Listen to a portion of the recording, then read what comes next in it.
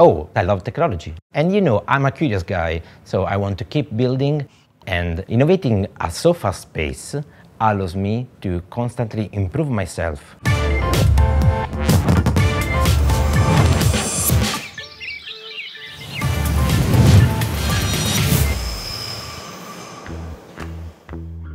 Hi, I'm Mattia. I'm from Japan Data Center Operation Team.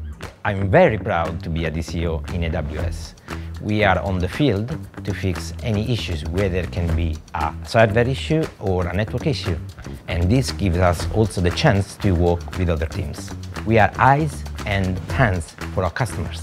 DCOs come from very diverse backgrounds. Just last year, I had the chance to train a steward. In just a few months, he was able to adapt really quickly to our workplace processes. My work is very innovative. I'm able to work on projects that impact not only our cluster or region, but also globally for AWS. I love my coworkers. They bring so much point of views and so many different perspectives that helps me to grow not only as a technician, but also as a person. There are a lot of online resources about AWS and data centers in general. You should really read about our leadership principles if you wish to join our family.